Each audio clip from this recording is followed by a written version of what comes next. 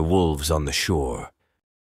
Thrice stood, thrice beheld, thrice spake to his brethren in this wise See you yon laden shore, heavy with riches, thick with gems, ripe with profits of all sorts for the taking. Methinks it worth while a flight there to eat and drink and take my fill of those fruitful shores. Then the threefold spake in likewise accord. Yes, this be a fond enterprise, but how? The river be deep and wide, and its current be strong and swift. Now the wolves, for that they be to a one, were strong and swift, and also immortal, on account of their homeland's mastery of magical herbs and ailments. But they also were abased with predatory ambition, lordly impatience, and senile greed.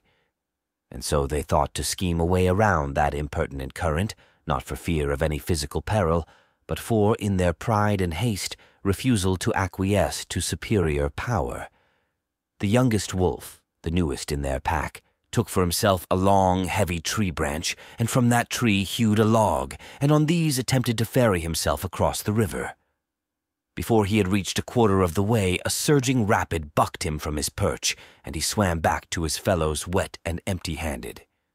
The second, a more cunning beast, but just as brash, fashioned a raft out of several logs lashed together with strips torn from his own clothes. And on this attempted a similar feat to his younger comrade, only to achieve similar fortunes.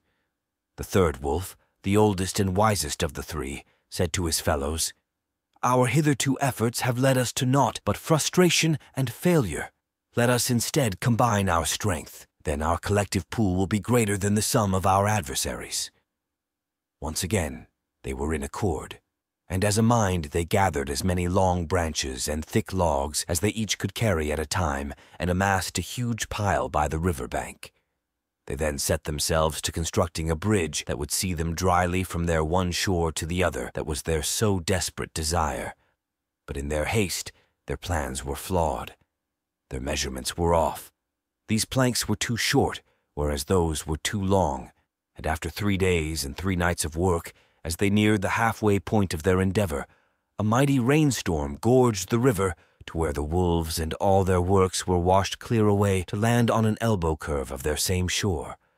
And so the three wolves, though still immortal, all went home wet, battered and hungry, never to suckle the sweet delights of yonder way, for their own animal natures had barred their passage.